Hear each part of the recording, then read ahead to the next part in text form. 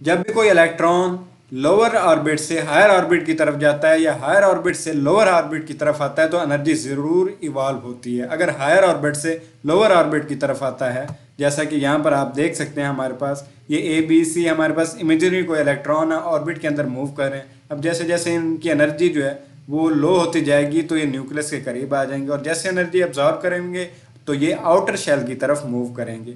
इसी चीज़ को एक्सप्लेन करने के लिए जिमान ने अपनी एक स्टेटमेंट दी थी, जिसमें ये बताया गया था कि जब भी एनर्जी रिलीज़ होगी तो वो in the form of spectrum होगी। स्पेक्ट्रम हम कम्बिनेशन ऑफ़ कलर्स को कहते हैं, जो कि ये बताते हैं कि इस एटम की, इस आयन की, या इस मालिक्यूल की, या इलेक्ट्रॉन जो मूव कर रहा है, इसकी एनर्जी कितनी है। सबसे पहले हम डेफिनेशन को देखेंगे, उसके बाद इंट्रोडक्शन और फिर एक्सप्लेनेशन की तरफ़ जाएँगे। The splitting of spectral line into two और more components of slightly different frequency when the light source is placed in a magnetic field तब आपको जिमान इफ़ेक्ट की समझ आ गई होगी कि उसकी स्टेटमेंट क्या थी और उसने क्या काम किया था। इन 1902 जिमान गॉट इन नोबेल प्राइज तो इस इफ़ेक्ट के लिए उसे 1902 में नोबेल प्राइज दिया गया था। Spectral line of light are emitted when electron change from one discrete energy level to another. Each of the level characterized by a angular momentum quantity related to mass and spin. Angular momentum के लिए हम क्या लेते हैं जी quantity related to mass and spin is split in a magnetic field into substrate of equal energy. Substrate सब levels को ही कहा जाता है. These substrate of energy are revealed by the resulting pattern of spectral line components.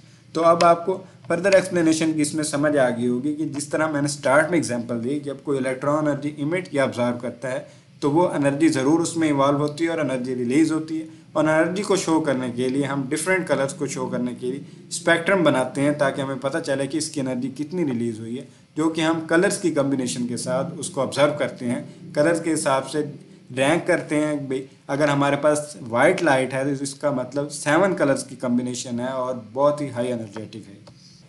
The Zeeman effect has helped physicists determine the energy level in atoms and, and identify them in terms of angular momentum.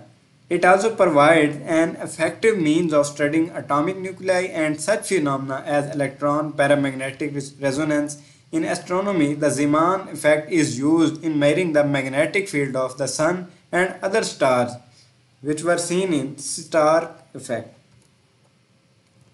यहाँ पर अब आपको दो diagrams show हो रही हैं जो कि ये बता रही हैं कि स्पेक्ट्रल लाइंस को डिफाइन किया गया है कलर कम्बिनेशन के हिसाब से अब जिस तरह हमारे पास कलर अपग्रेड होगा, वैसे ही एनर्जी भी साथ साथ अपग्रेड होगी, जो कि बता रही है कि स्ट्रॉन्ग मैग्नेटिक फ़ील्ड में उसकी वैल्यू क्या है वीक मैग्नेटिक फ़ील्ड में उसकी वैल्यू क्या है spectral lines of light are emitted when electrons change from one discrete energy level to another. Each of the level characterized by an angular momentum is separate in a magnetic field into substrate of equal energy. These substrate of energy are revealed by the resulting pattern of spectral line components.